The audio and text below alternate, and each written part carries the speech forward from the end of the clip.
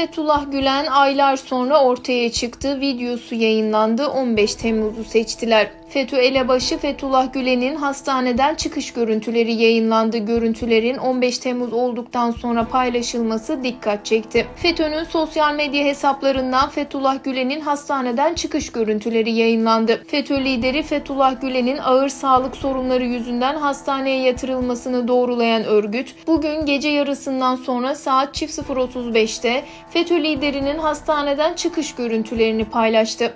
Fethullah Gülen'in ayakta zor durduğu, kıyafetinin altında da aletler olduğu fark edildi.